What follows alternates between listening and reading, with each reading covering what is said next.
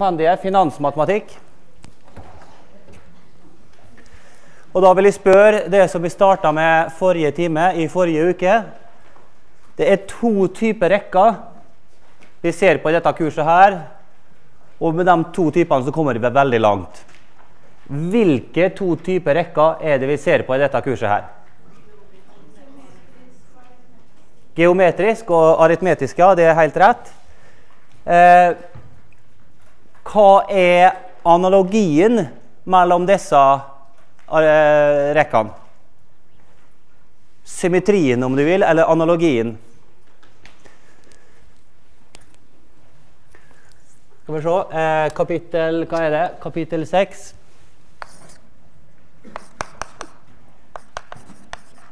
Finansmatematikk. Side 1. Aritmetisk rekke. Den var gitt ved at A i pluss 1 er lik et eller. Og 2 georekke, den er definert ved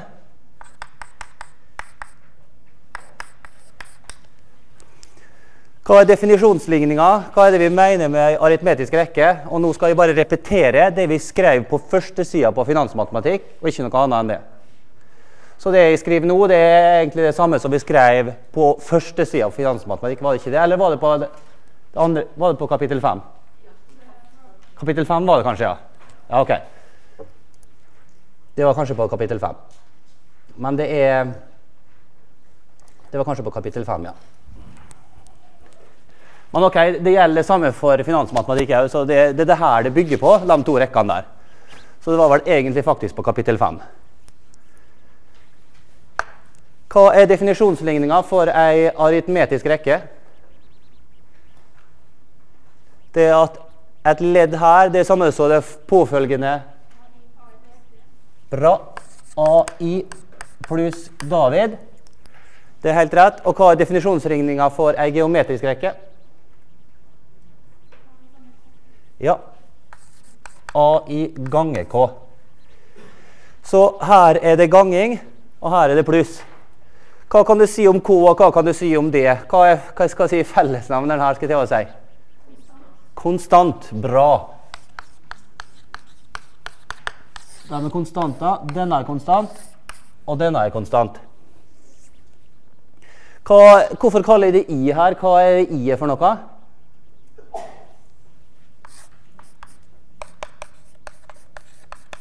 Det er en Ja, det skrives ikke med X på norsk. da. Det er en indeks I. Det er den vi ofte summerer over når vi skal summere ledda i ei aritmetisk og geometrisk rekke. Ok, og Hvis vi har ei aritmetisk rekke og tar da Nils første, summen av Nils første ledda, og med det så mener vi at SN er lik sigma i er lik 1 til Nils av AI. Det er det vi mener. Summen av de Nils første ledda, der indeksen i starter fra 1 og går opp til Nils. Så det her det betyr, hvis du skrev ut A1 pluss A2 pluss pluss A-Nils. Det er det dette betyr. Ja, Hva var summen av de Nils første ledda i ei aritmetisk rekke? da? Er det noen som husker det? Og Hvis dere ikke husker det, så kan dere slå opp i formelsamlinga. Det er ikke juks. Det er lov.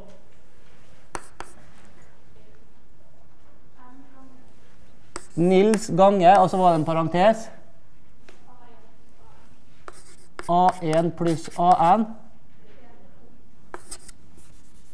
Sånn, er det riktig? Ja. Bra.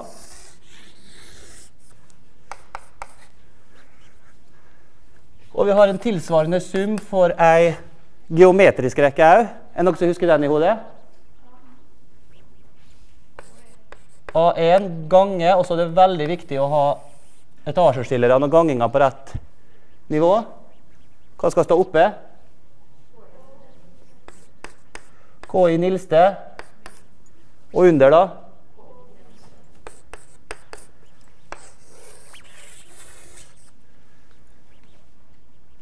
Den her, gjelder den alltid for en geometrisk rekke? Ja eller nei?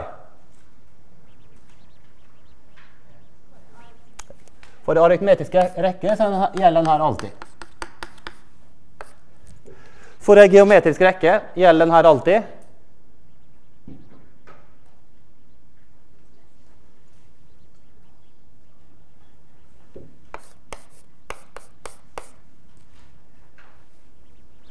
Kan K være lik 1? Nei. Så når gjelder den her? Hvis og bare hvis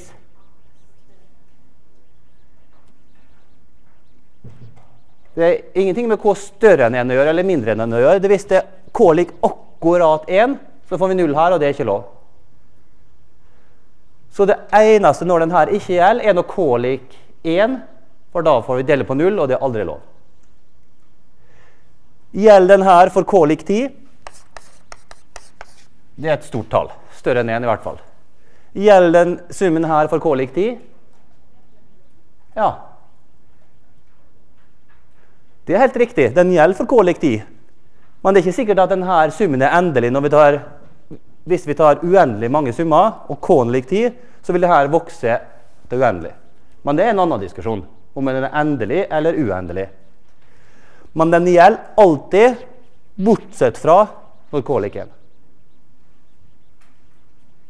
Og det skjønner vi bare ved stirremetoden, for det at vi har aldri lov å dele på null. Så hvis K lik 1 her, så blir det 1 minus 1 som er 0, og det går ikke.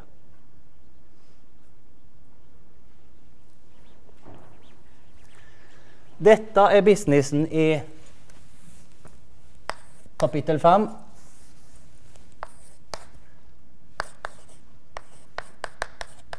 Rekka og følger.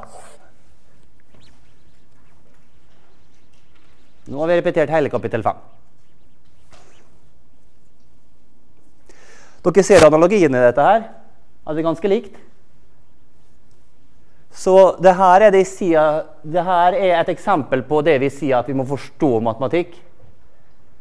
Vi skal forstå oppbygging av matematikk og forstå logikken i matematikk. Da mener vi at ja, en aritmetisk rekke det er bare å plusse på en konstant, men det geometriske er bare gange en konstant.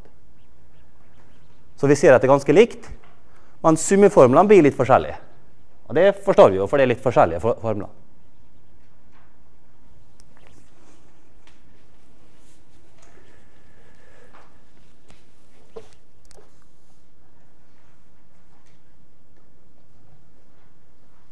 Greit. Jeg tror at det var på 256. Kan jo alle slå på side 256?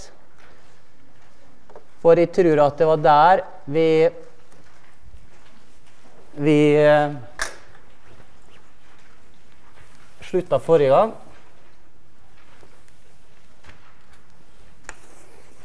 To femtiseks.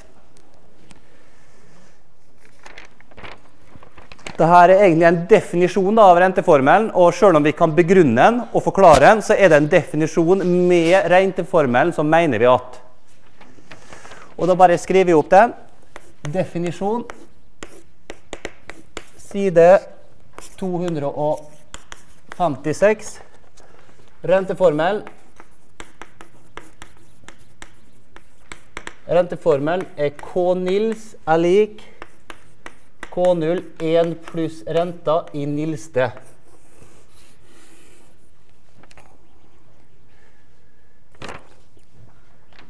Jeg har lyst til at dere skal stirre på den formelen der og si til meg hva dette betyr på godt norsk i en økonomisk sammenheng. Hva betyr dette her?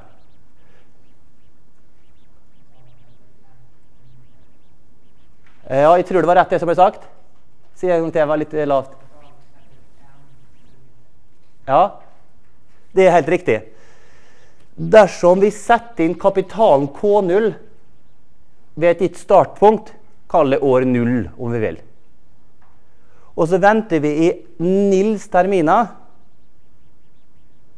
Når renta er R, da blir den kapitalen som starta med K0, den vil, da forrente seg på en sånn måte at kapitalen etter Nils antall terminer blir K1. Det er helt rett.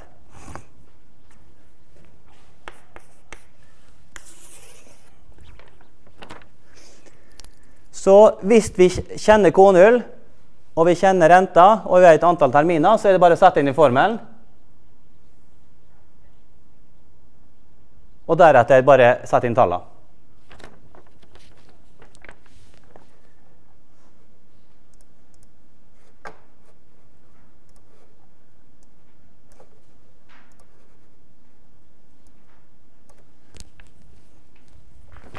La oss si at vi kjenner hva vi har i banken etter Nils antall terminer.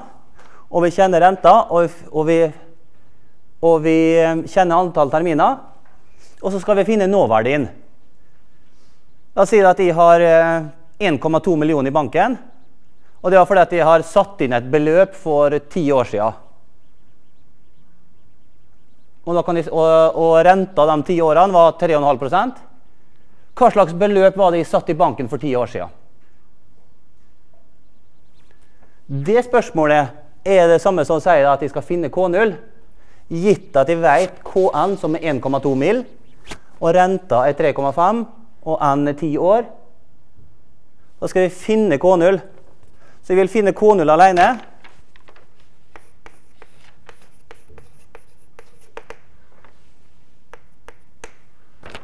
Hvordan skal jeg finne K0 alene her, da? Ja, Så hvis jeg tar og deler på parentesen, så får jeg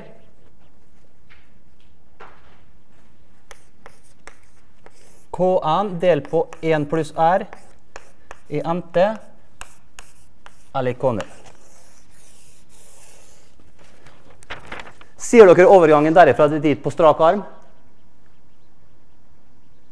Jeg har spandert på meg og skrevet det der som to formler. Sjøl om det egentlig er samme formel. For har du renteformelen, så har du også nåverdiformelen. Det er bare å dele på. Så Det er derfor dere kanskje sier at ja, det er veldig mye formler i kurset her. Og det er det kanskje.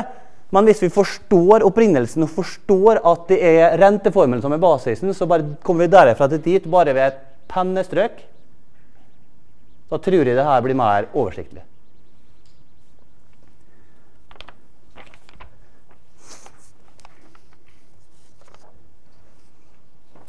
Så hvis vi går på side 257, og så tar vi et eksempel på side 257, slik at det her blir litt mindre kryptisk du setter inn 1000 kroner i banken, renta er 6.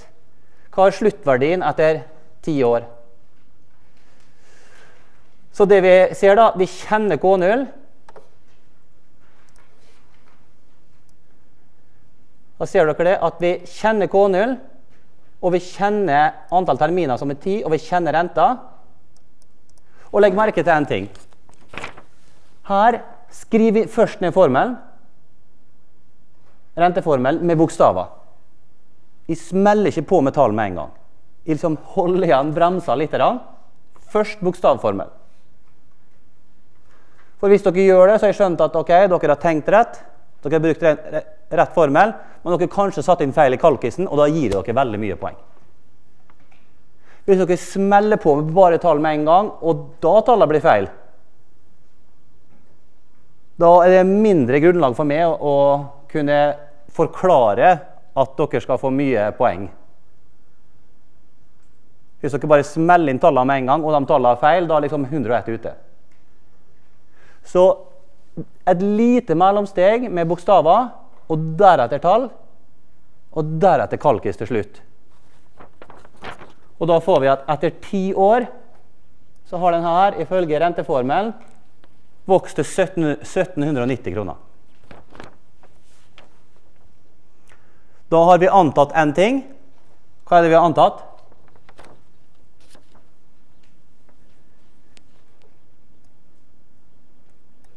Hva er det vi har antatt? Ja, At renta er den samme, ja. Det er det som gjør på en måte renteformen litt vanskelig å, å, bruke. At du må splitte den opp i, i små deler. For at renta den varierer jo ganske ofte, gjør den ikke det? Altså det, er ikke, det er ikke naturlig at renta er fast i over ti år. Men kanskje den er fast de to første åra, og så endrer den seg de tre neste åra.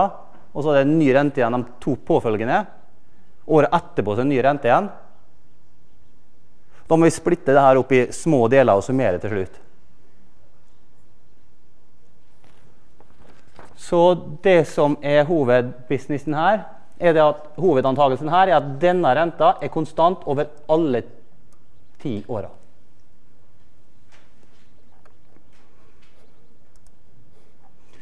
Et eksempel til helt nederst. Nåverdi. Du har blitt lovet 10 000 spenn om ti år. Hva ja, er dette beløpet verdt i dag, skal det stå. Anta at renten er 5% og at den er konstant. La oss se på det eksempelet. Og det gjør vi eksplisitt på tavla. Side 257. Du har blitt lova 10 000 kroner om fem år. Så kapitalen om fem år er 10 000. Renta er lik 0,05, og den er konstant over alle n ti åra. Eh, skal vi se Alle fem åra.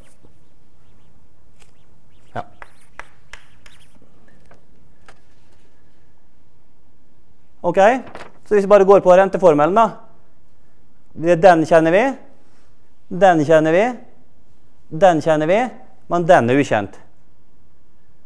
Så da bruker vi renteformelen, eller sagt på en annen måte Vi tar den versjonen av renteformelen som er nøyaktig samme formel. Det er ikke noe forskjell på disse to her. Den ene er like bra som den andre. Akkurat samme tingen. Men i dette tilfellet så er det hensiktsmessig å bruke denne, for da har vi allerede løst den sjøl. For å få K0 alene.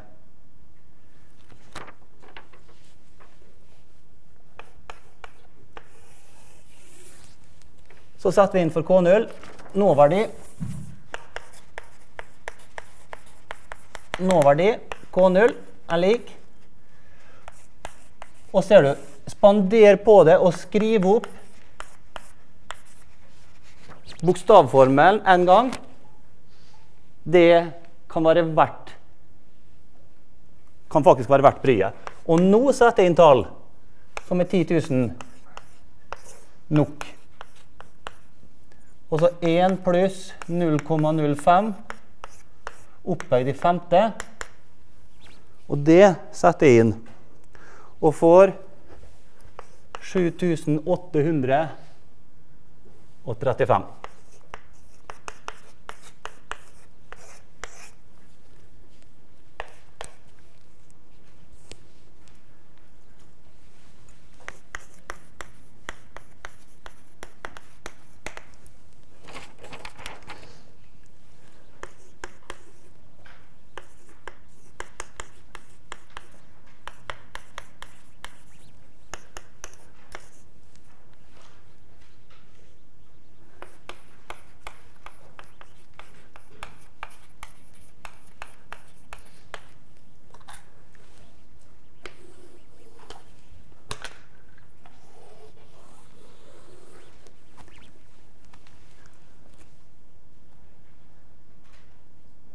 Det som står i denne firkantboksen, er hele essensen, vil jeg påstå, i nåverdikonseptet og nåverdiforståelsen.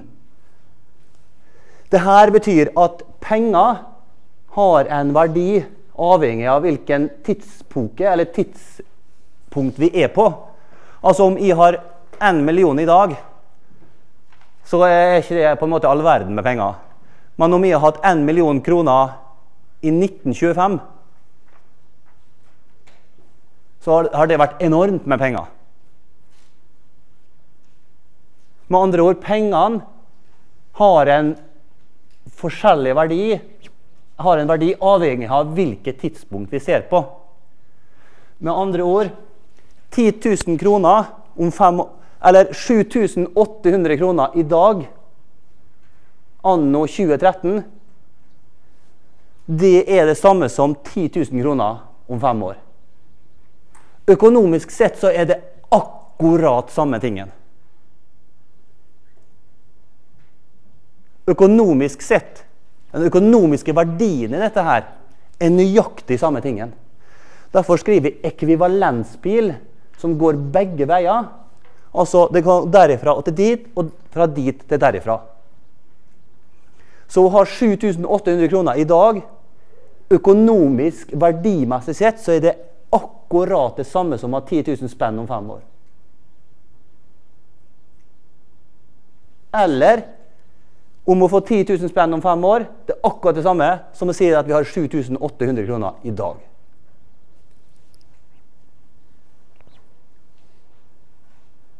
Det er konseptet med nåverdi. Formelen er egentlig ikke noe annet enn renteformelen.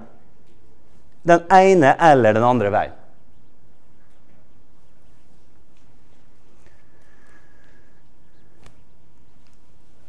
Et kort eh, avsluttende spørsmål før vi går videre. Renteformelen, når vi forklarte den, er det en del av ei aritmetisk rekke eller geometrisk rekke? Aritmetisk eller geometrisk? Opp med han alle som mener aritmetisk. Det var ingen. Opp med han alle som mener geometrisk. Ja, det var alle, tror jeg, så å si. Ja, Kan dere forklare det?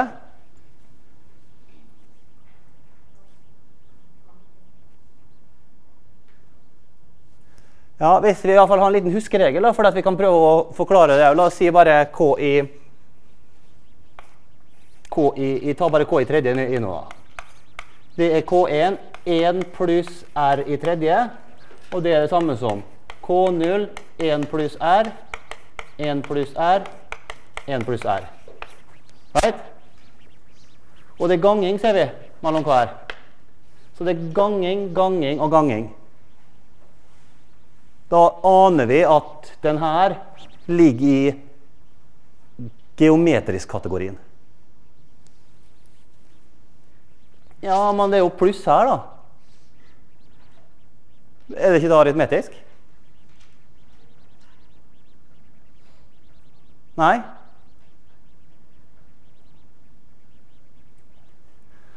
For det at det er en pluss her inne, på en måte, det gjør ikke noe. skal til å si, For det, at det er ganging mellom ledda som teller. Så R kan vi bare se på som en ny konstant. La, oss kalle store R da, for 1 pluss R.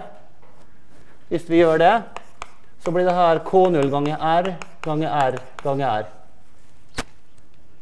Og da er det bare ganging, og da har vi på en måte skjult plussen. Så det her er en del av en geometrisk rekke.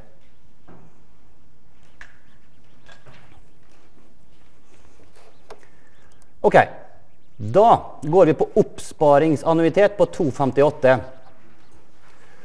Oppsparingsannuitet på 258. Og da skal jeg bruke mye den figuren der som eh, jeg sjøl syns er forklarende på oppsparingsannuitet.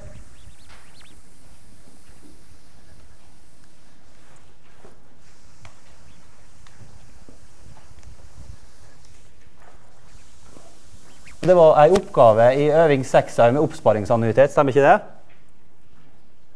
Hvilken oppgave var det? Oppgave to? Ja. Men prøv å legge merke til navnene oppsparing. Og så prøver vi å tenke oss hva det betyr. Og da tror jeg det er lettere å forstå da, når vi tenker på innholdet i navnene. OK.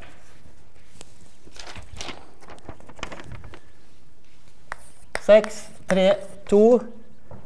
SNN, bare kaller det. Og nå er vi på side 258 i kompendiet. Ved oppsparingsannuitet så setter man samme konstante beløp K i banken ved begynnelsen av hver termin. Anta rentene R. La oss i første omgang kun se på oppsparing over tre terminer. Så la oss se på det her. Se på den figuren der, og vi ser på tre terminer. Oppsparing betyr at vi setter av beløpet K, konstante beløpet K, kapitalen K. Vi setter av det ved hver termin i tre terminer. Så det betyr vi setter av ett beløp her ved starten. Det er første termin. Så i begynnelsen av termin to setter vi ned nytt beløp K. Og den tredje og siste terminen det tredje og siste innskuddet K. Så vi har én, to, tre innskudd. Når vi kommer hit, da, én termin etter siste innskudd, da begynner vi å betale ut igjen det vi har spart opp. Da får vi pensjonen vår, om du vil. Så la oss se på det. La oss se på den første terminen her. Den her nå. Den grønne. Den kapitalen K der. Hvor lenge og hvor mange terminer står den grønne kapitalen inne i banken og forrenter seg? Alle tre terminene, ja. Slik at det vi kan kalle da, f.eks. romertall 1 K3 Det betyr at det er den kapitalen vi har i banken fordi at vi setter inn kapitalen K, som vi tidligere kalte K0. da. Og det skal stå i tre terminer. Og dette er renteformelen. Fordi at vi setter inn kapitalen K og lar den stå i banken og forrente seg i tre terminer, betyr det at kapitalen vi har totalt i banken etter tre terminer, er K3.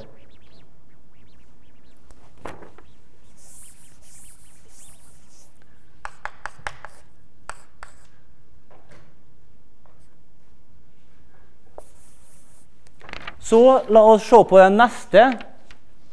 Og Vi går hit nå, og vi ser på det røde innskuddet. Ved begynnelsen av termin 2, helt i begynnelsen av termin 2, så setter vi inn igjen beløpet K.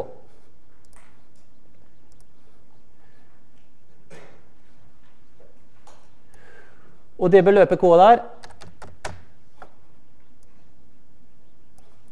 Det er hvor lenge står det beløpet inne i banken?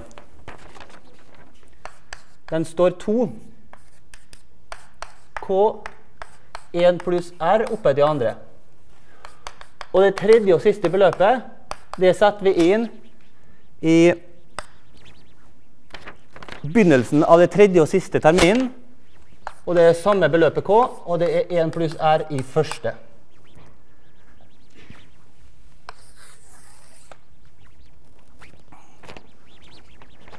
Da skal vi finne ut vi, hvor mye har vi oppspart når vi kommer hit til dette tidspunktet.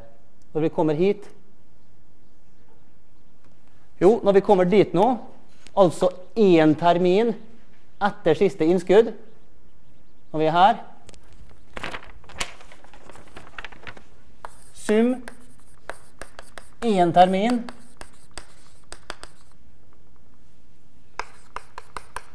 etter siste innskudd,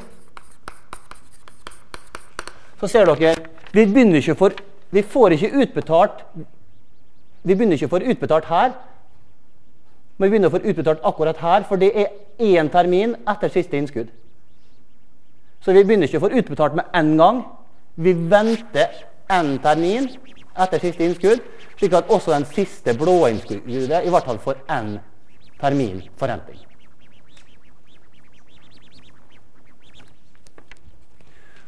Så hvis vi kaller den summen der da, for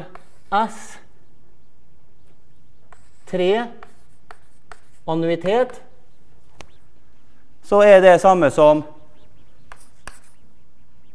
K1 pluss K2 pluss K3. Er dere enige i det? Dette er den totale summen av kapital vi har én termin etter siste innskudd.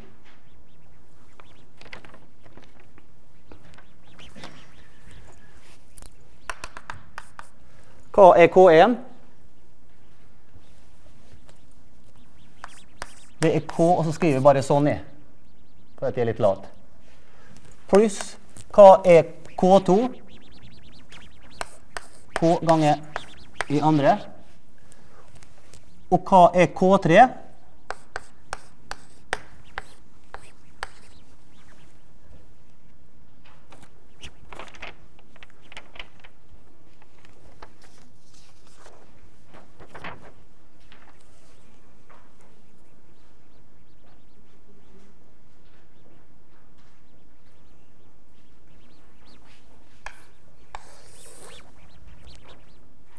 Hva gjør vi nå, da? Hvilken type sum er dette her? Aritmetisk eller geometrisk? Geometrisk. Hvorfor er det geometrisk? Ja, la oss se på forholdet mellom f.eks. K3 delt på K2.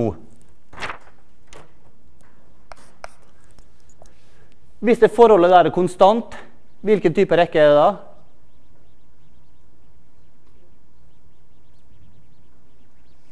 For vi skrev det her, her borte.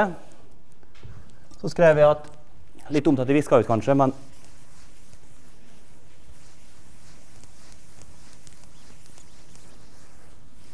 Vi hadde to typer rekker. Én AI pluss 1 er lik AI pluss D. Rekke 2. AI pluss 1 er lik AI gange K. Det var aritmetisk, og det var geometrisk. Den der, da, hvis vi deler på AI på begge sider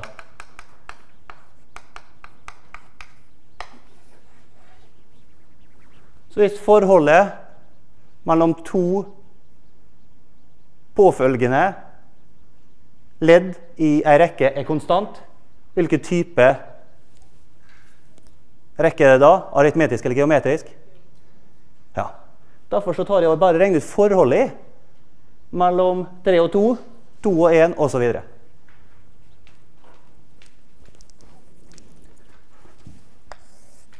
Og 3 er k ganger parentesen i tredje og K2 er K ganger parentesen i andre.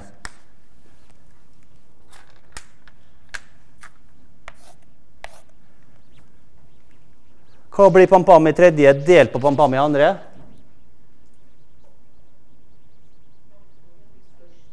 Det blir pampam i første. I første. Og det første trenger vi ikke skrive, så det er bare én pluss her.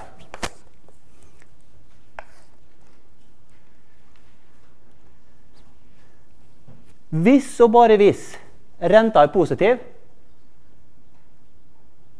da er dette konstant. Så her ser dere hvorfor vi må ha konstant rente. For det her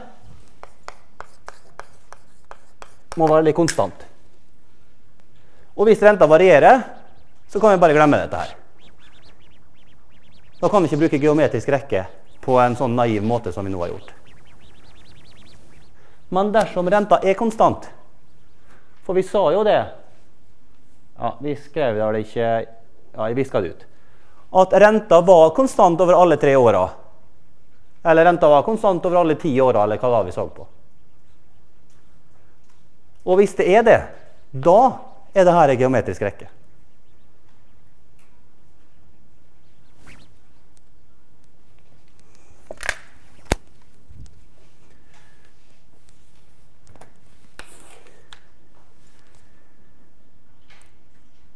Hva er summen av en aritmetisk rekke, da? Sum S3an er lik Er det noen som husker summen av en geometrisk rekke? Georekke. Er det noen som husker summen av en geometrisk rekke? A1 ganger parentes K i Nils minus 1, K minus 1.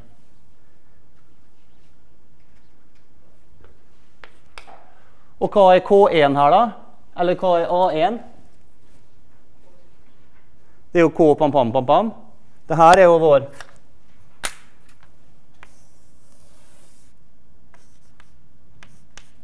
Dette er vår A1. Dette er vår A2 osv. Så, videre. så A1 det er K ganger 1 pluss R.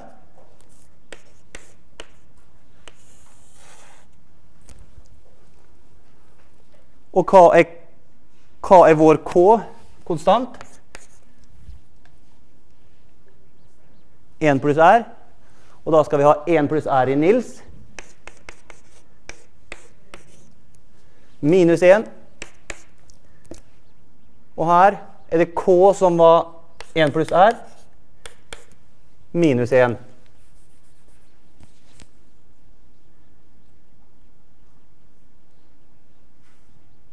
Ja. Er det noen som har lyst til å si meg noe her nede i kjelleren i hvert fall?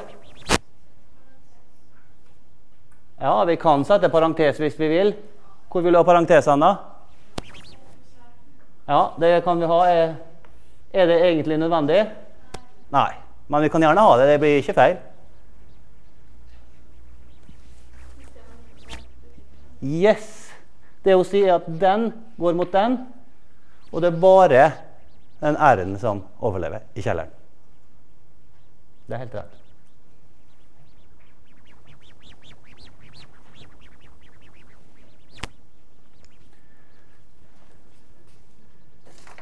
Ok, Men da skriver vi det her litt på en annerledes måte. Litt forenkla måte. Den her kan vi ikke gjøre noe med, så den må vi bare bli dragende på. 1 pluss R gange parentes. Og her oppe, oppe i toppetasjen her kan vi ikke gjøre noe. Så her blir det bare 1 i R i NT minus 1. Mens her blir det bare R i kjelleren.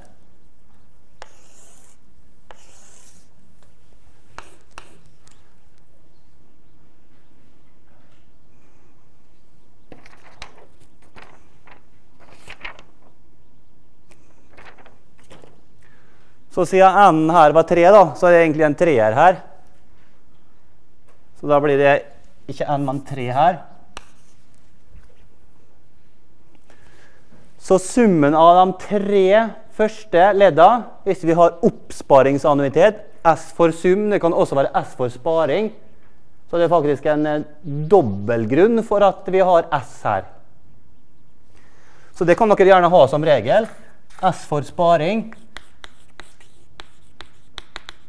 S for sparing. Jeg vil skrive skråstrek summer vi her nå. Kan dere gjerne skrive i, på side 259, og for så vidt òg 260, at det er en god huskeregel for hva det her er. S for sum, S for sparing. Og her er det oppsparing, eh, oppsparingsannuitet.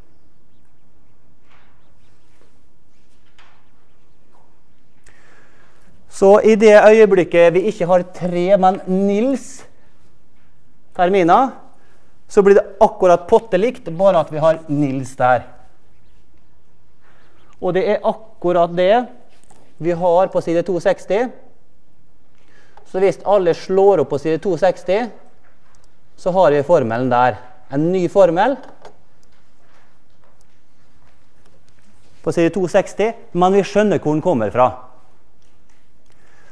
Så skriv gjerne på her. Der. S for sparing på side 260. Skriv gjerne det her med ei pil. Sparing sånn.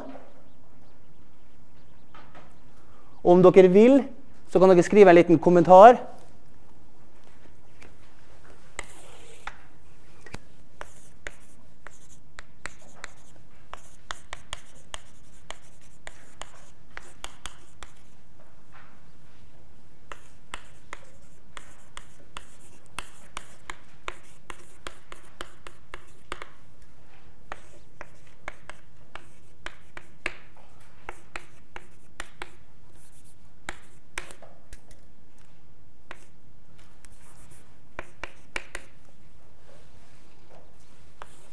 Det her står ikke i kompanjet. Kan dere gjerne skrive på side 260 om dere vil.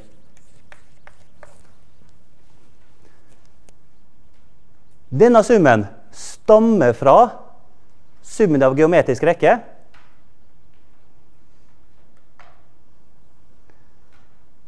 Og summen av geometrisk rekke er det her. Jo, og hvorfor stammer det her fra geometrisk? Jo, for vi bruker renteformelen. For hver kapital vi setter inn i banken, så bruker vi renteformelen. Renteformelen er ganging. Det betyr at forholdet mellom et påfølgende og den foregående er en konstant, forutsatt at Forutsatt at renta er konstant over hele perioden som vi ser på. Over alle tre åra.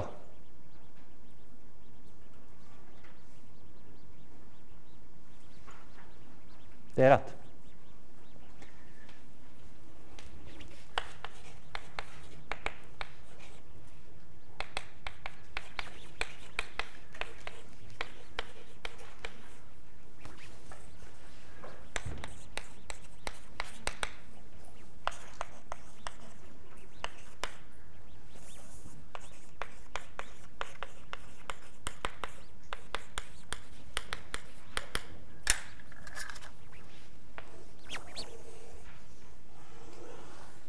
Skriv gjerne den her på side 260. Jeg tror ikke det står eksplisitt. Skriv gjerne dette. R, og det er selvfølgelig renta.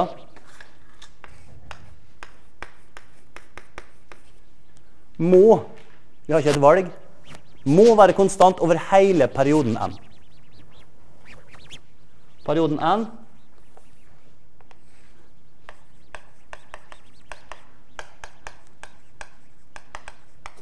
antall terminer.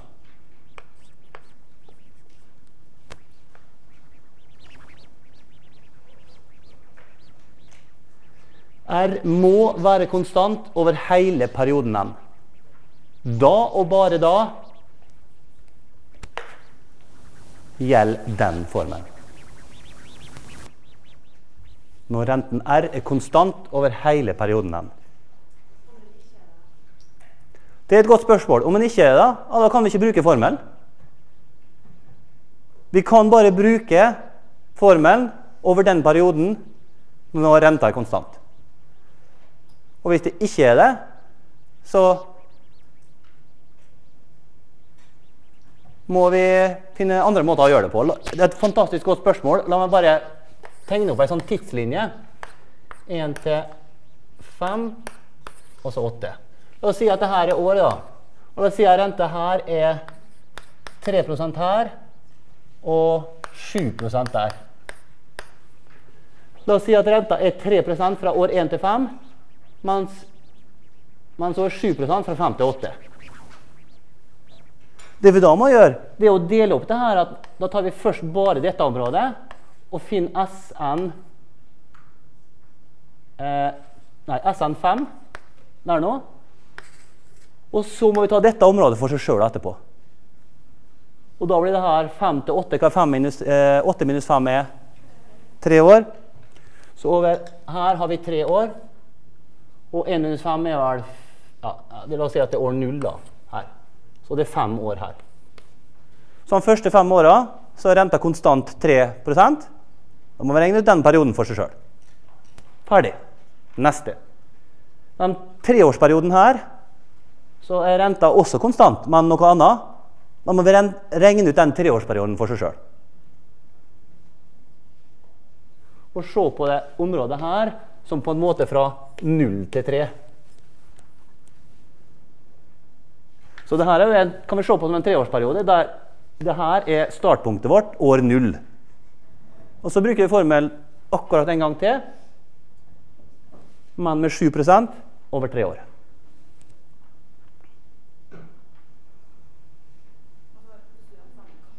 Og så kan du plusse dem sammen til slutt. Kanonbra. Så det blir S an S an eh, S an, la oss kalle det 5 pluss S an 3. Eller total. Oppsparing. Kanongodt spørsmål. Men det her betyr, folkens, se hva det her betyr, konsekvensene. At det konstantsituasjonen her som vi lærer om, Og så vi tenkte uff, ja, det er jo veldig begrensa, for det er jo ikke realistisk, dette her. Renta er jo ikke konstant i virkeligheten, det vet vi alle sammen. Det er rett. Men da bare deler vi opp området i tilstrekkelig små områder der renta faktisk er konstant. Bruke den teorien vi kan, og bare legge det sammen til slutt. Konklusjon. Kan vi den enkle, naive teorien her, så er det rett fram å generalisere til en mer komplisert, realistisk situasjon.